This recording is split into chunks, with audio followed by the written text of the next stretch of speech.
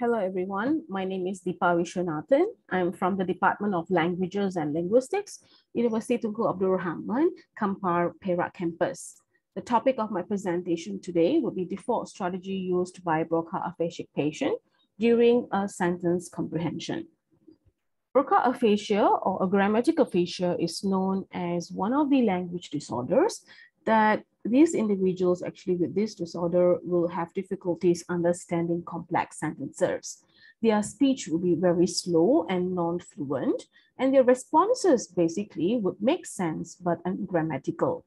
Their repetition to a certain extent that has got to do with uh, repeating a word or phrases or sentences would be basically very poor. Paul Pierre Broca is one of the neuro neurologists who found in his patient's brain that it was damaged and there was a lesion actually in the patient's brain. So it is because, uh, you know, the lesion and the damage actually to a certain extent has affected the patient's ability to produce speech fluently.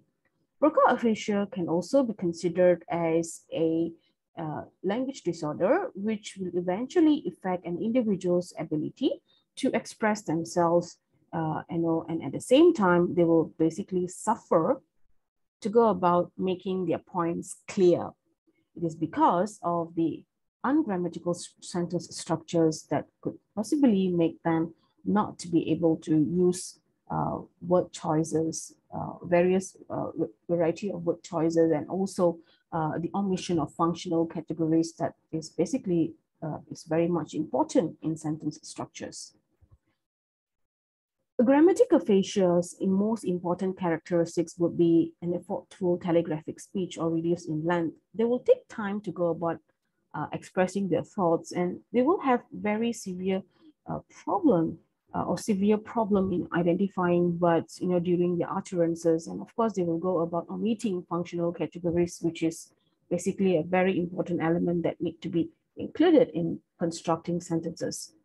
So the main theoretical foundation of this study would be trace deletion hypothesis and default strategy, uh, which these two are the independent claims from uh, the trace-based account proposed by Grodzinsky in 1995. So the focus of this uh, study would be merely on the investigating uh, whether or not this particular patient that I'll be looking at uh, basically corresponds to one of the claims made by Grodzinsky, which basically he mentioned that agrammatic patients are basically considered as good comprehender of active sentences and also bad comprehender of passive sentences. So to investigate this, I will basically using Christensen's sentence to picture matching test, which is a comprehension test where I will be looking at to what extent they could possibly understand the sentences of active and passive. And then at the same time, to also investigate whether or not they have been using the default strategy during their sentence comprehension. So this will basically uh, be related to the analysis of how the uh, sentence comprehension basically uh, would mainly be, uh, be done during the process. So the research objectives of this study would be to identify the percentage obtained by the aphasia patient in sentence to picture matching test for the comprehension of active and passive sentences. So this is where I will be basically be using the SPMT test to investigate the number of correctly identified uh, pictures and then uh, with reference to the sentences presented to the patient. And also the second research objective of this study would be to investigate whether the Broca aphasia patient in this study used the default strategy during the sentence comprehension of active sentences and passive sentences. So the analysis of the so-called data would be merely on uh, the syntactic structure of the so-called sentences where I'll be basically using the trace deletion hypothesis and Chomsky's 1981 uh, criterion uh, theory to go about explaining how the uh, usage of default strategy could possibly happen during the process. So this will be the conceptual framework of the study. So it all begins with the aim of having to go about looking at their comprehensibility. So the three major issues that basically that uh, uh, that uh, encouraged me to go about looking into this uh, Broca aphasia patient would be the damage in Broca's area to look at to what extent the uh, damage actually has basically influenced a patient's ability or that particular individual's ability to understand sentences. And of course, you know, due to the damage or the lesion, all right, it has basically affected their ability to go about understanding complex sentence structures. And of course, the most important issue would be the limited studies in Malaysia who basically uh, used or adopted Grodzinsky's uh, theory or hypothesis in their study. So if you look at the part highlighted in blue, they are uh, my basic, my theoretical foundation of the study, where I will be looking at this one claim that they made on Broca aphasia patients' comprehensibility, particularly when it comes to understanding active sentences and also passive sentences. Also to investigate the employment of the default strategy, also considered as R strategy, which is known as the referential strategy. All right. So uh, Chomsky's 1981 Theta criterion uh, theory uh, will be very much, our principle will be very much relevant to the R strategy, which will eventually be used by the patient. This R strategy actually, or also known as the default strategy, is a strategy where the patients will normally be using, agrammatic patients will normally be using in their sentence comprehension, in which they will be assigning the first NP that they see in the sentence structure as an agent role. So this agent actually is one of the thematic roles that plays an important role in understanding the sentences. So thematic roles, there are various roles actually, agents, theme, uh, experiencer, instrument. So the, the most important role that will be a focus of this study will be the agent role, right? Where, uh, you know, agent here means uh, is considered as the NP that plays a crucial role that is considered as a doer of a specific action. So here, when the patient uses a default strategy, they would want to go about assigning that particular role, which happened to be a doer for that particular NP. So we will see how this employment of default strategy happens and also to investigate whether or not this happens, right? Based on the um, performance uh, of, uh, which will be basically be, uh, be indicated by the percentage of, uh, of uh, the percentage obtained in their SPMT tests. So yes, of course, to investigate all of these, I will be using Christensen's 2001 sentence to picture matching test. So if you see the main implication or the findings of the study, you know, basically will eventually affect uh, the ability of understanding these two types of sentences, mainly on active and passive sentences.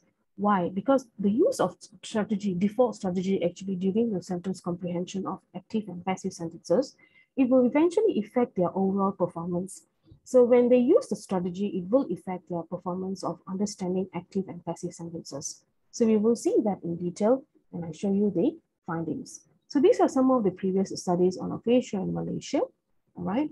And if you look at this study, actually, the focus is mainly on Malay native speakers of with aphasia. And also it is basically merely on intervention, on having to go about developing some sort of uh, tool to go about making this group of people to identify or to understand speech, not and at the same time to also produce speech.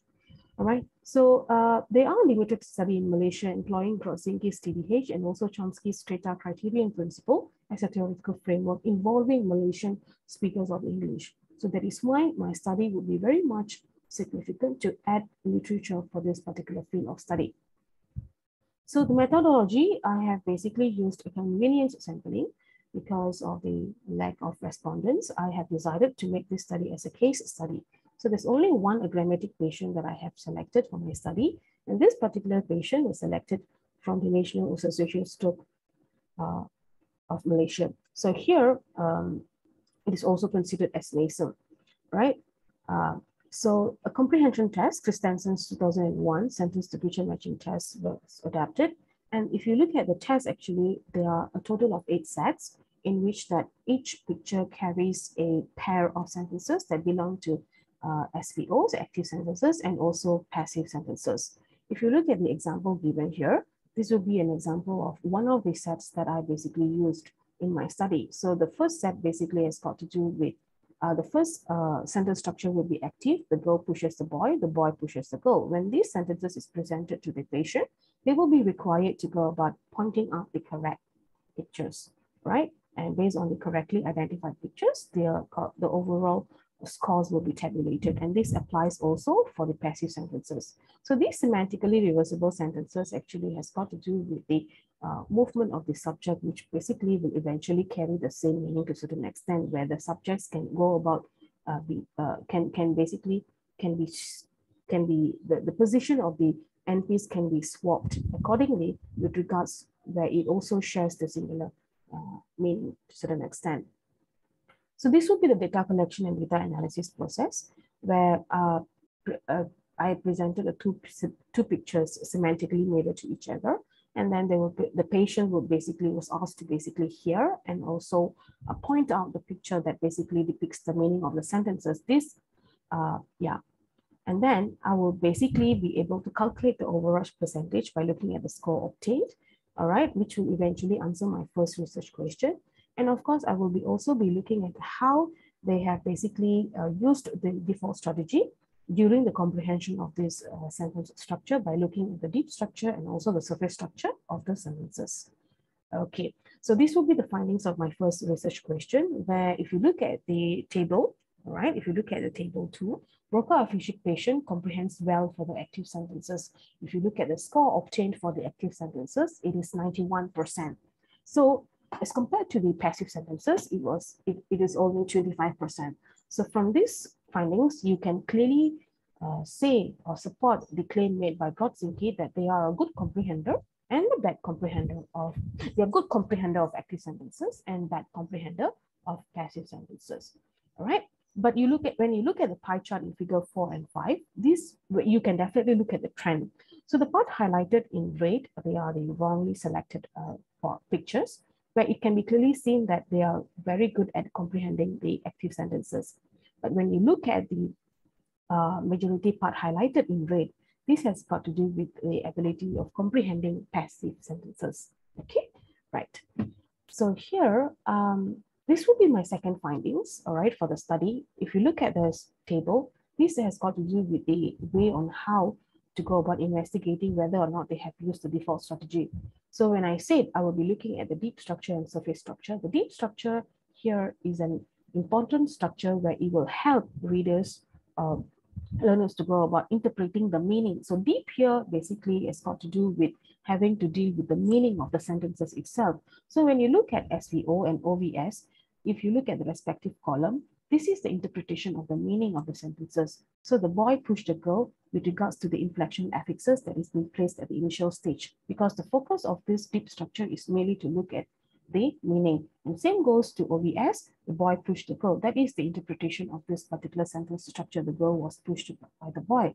But when you look at the surface structure, it is merely the construction of the sentences we know that we want to go about saying the action uh, performed by the doer. So we would want to say as in the boy pushes the girl. So when the inflection affixes is being placed at the subject position, it will to certain extent be moved to be attached to the verb push. So when that when the inflection affixes moves, automatically the NP, the boy, would also be having some sort of movement. So when there is a movement involved, there will be a trace.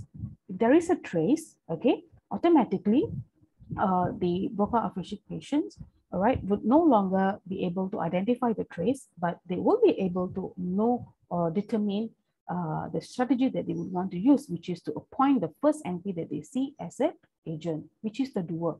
Okay, if you look at the SVO, when there is a trace, if you look at the traces are all basically being, uh, being placed in a subject position. Subject position means the position that comes before a verb in a sentence structure. So when the so-called traces basically is being placed on the subject position, even when they apply the default strategy, indeed, all right, it will automatically uh, allow them to comprehend the sentence structure correctly, all right? And of course, they won't have issues understanding the sentence structures, all right?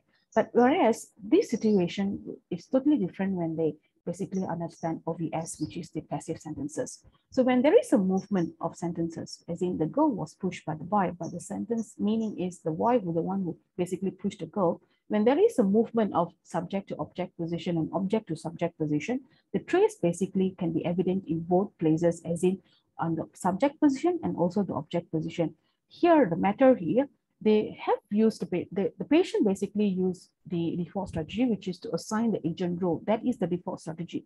When they assign the agent role where they would automatically want to go about thinking that the first NP is the doer. So when that happens, automatically for the understanding the passage of passive sentences, they will basically commit a mistake and it, this will eventually make them to confuse and be and they will be basically making some sort of a guessing. How this guessing uh, process happens here is that in language, right, I mean, there is a sentence structure. There shouldn't be assignment of two agents in one clause. So when there is a two agent, there will be a confusion clause. And this particular pa passive sentence structure is considered as a complex one because there is an additional phrase, uh, prepositional phrase, which attached by the word by.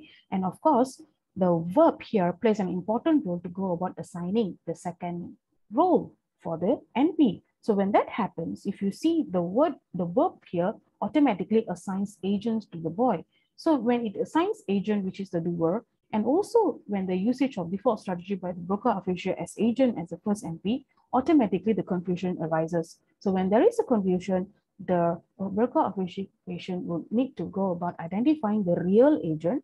And when they want to go about identifying the real agent, this is where they would want to go about simply guessing.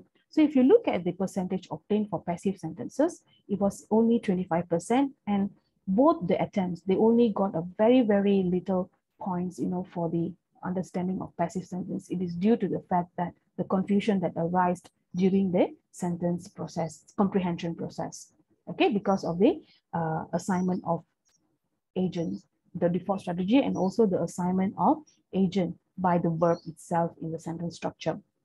So if you see, um, I just wanted to wrap this up because I have already explained this in the table and also in the pie chart before. So this can be clearly seen that uh, the patient has somehow, uh, you know, used the default strategy to make themselves understand better for this, uh, you know, and, and particularly for active and also passive sentences.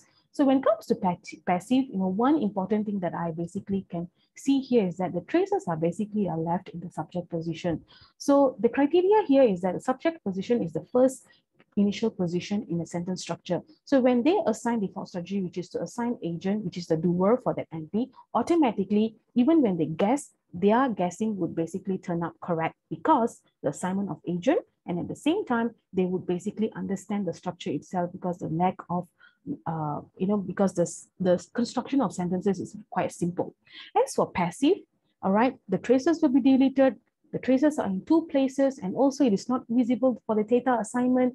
And of course, when they use the so-called the default strategy, which is to assign an agent in a non-thematic position, which is wrong. By right, the girl is supposed to be uh, known as the theme, not agent. So when that happens, two agents will be presented in the sentence structure. When there is a two agent, already further emphasize that it is not possible. When there are two agents, confusion would arise. And this is where the patient would want to go about guessing because the patient would have to go about identifying the real agent, right? So these findings actually uh, provide a way to go about investigating the strategy that they have used automatically. You know, we can definitely make a conclusion here that when you presented the complex sentences to Broca aphasic patient, they will have the strategy, which is to guess. So most of the time, they will be merely guessing whenever you use your complex sentence structures to this type of group.